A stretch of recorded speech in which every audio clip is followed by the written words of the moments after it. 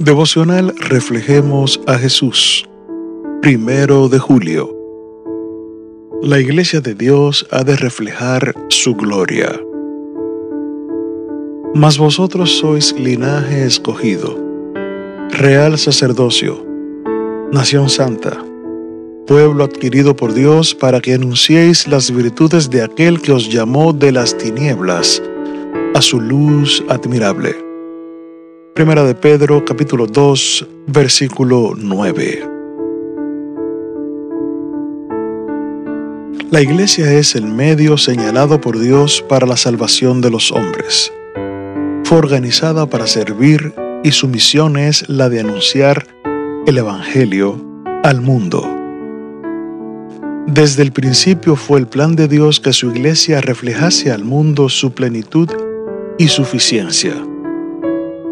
Los miembros de la Iglesia, los que han sido llamados de las tinieblas a su luz admirable, han de revelar su gloria.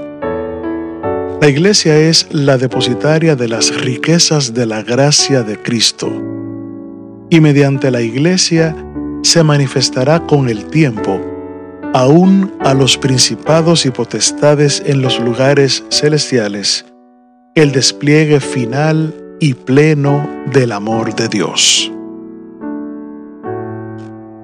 Muchas y maravillosas son las promesas registradas en las Escrituras en cuanto a la iglesia. Mi iglesia será llamada casa de oración para todos los pueblos. Isaías capítulo 56 versículo 7. Y daré bendición a ellas y a los alrededores de mi collado Ezequiel capítulo 34 versículo 26.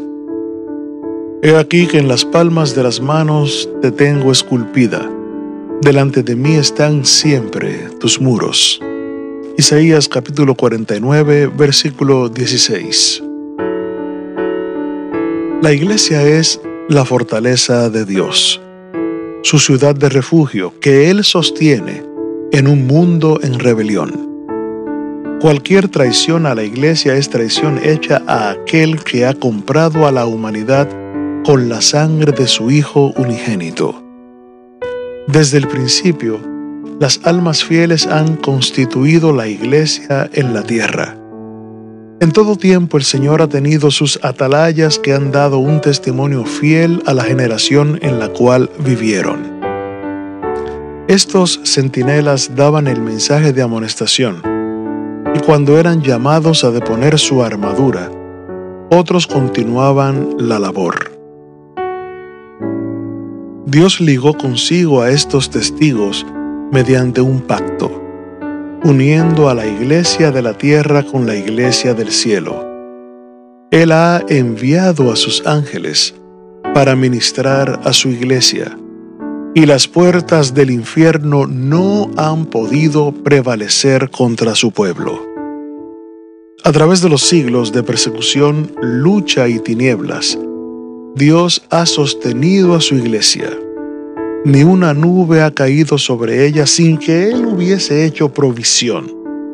Ni una fuerza opositora se ha levantado para contrarrestar su obra, sin que Él lo hubiese previsto. Todo ha sucedido como Él lo predijo. Él no ha dejado abandonada a su iglesia sino que ha señalado en las declaraciones proféticas lo que ocurriría y se ha producido aquello que su espíritu inspiró a los profetas a predecir. Todos sus propósitos se cumplirán. Su ley está ligada a su trono y ningún poder del maligno puede destruirla. La verdad está inspirada y guardada por Dios y triunfará contra toda oposición. Del libro Los Hechos de los Apóstoles, página 9 hasta la página 11. Dios te bendiga.